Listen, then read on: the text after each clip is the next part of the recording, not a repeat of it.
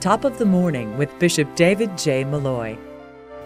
Jesus speaks of his relationship with his Father in the Gospel today. The Son, he said, does only what he sees the Father doing.